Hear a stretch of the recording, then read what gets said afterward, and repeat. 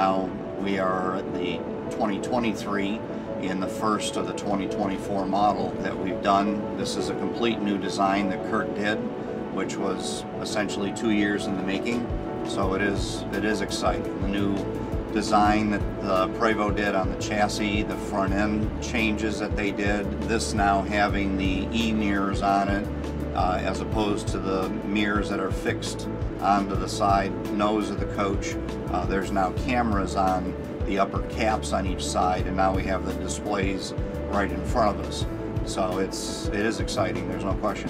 What we're looking at is the new 2024 H345 dashboard. This is a significant change from the uh, stock dashboard that Prevost supplies. One of the main reasons we did a redesign was to have enough room for our iPad Pro uh, driver control panel as well as the addition of a 10 inch uh, either Apple CarPlay or Android Auto screen uh, that obviously can be used for the driver when he's driving down the road. The new dash cluster is color now, so it's easier to see. The steering wheel in the new model uh, is more of an automotive style. We've enhanced it with our own leather treatment and stitching to match uh, the rest of the styling of, of the coach.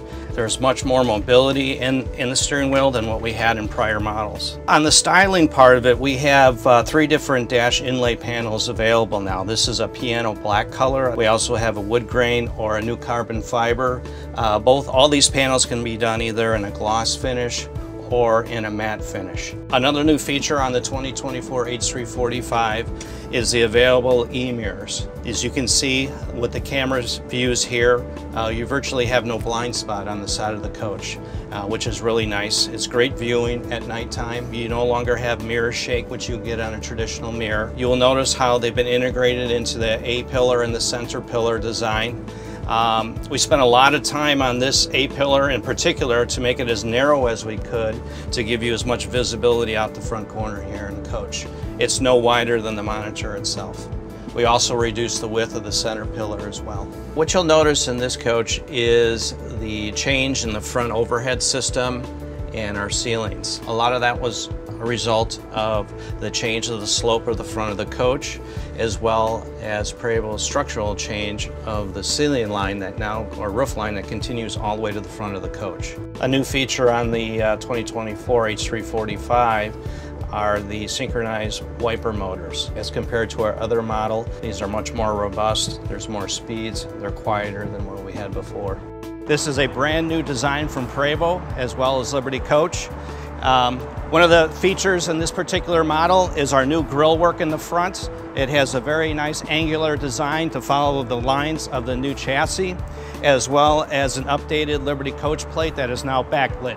It could be used as uh, when you're parked or going down the road. The flip down service door in the front. Now we have access to the wiper motors, which are more powerful, more speeds, as well as the um, driver's AC return air filter. So now very easy to get to instead of having to access through the stairwells on the Classic H. The significant slope of the front of the coach as compared to the Classic H.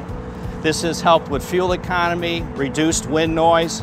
It also helps keep the front of the coach cleaner due to the significant curve that we now have. The new LED headlights as well as the curve around the front corner of the coach, which is helping the aerodynamics as well. Another feature on the new H345 is the design of our awning caps.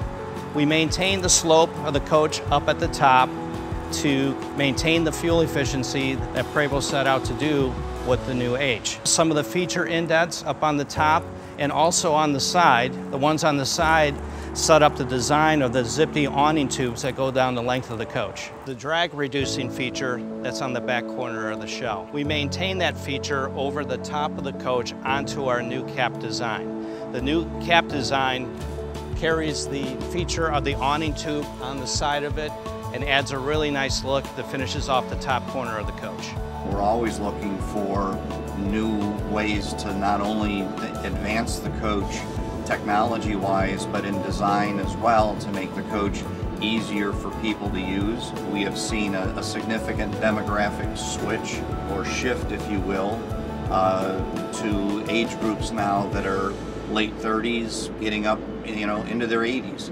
using the coach. So we're trying to, to keep pace with that as well.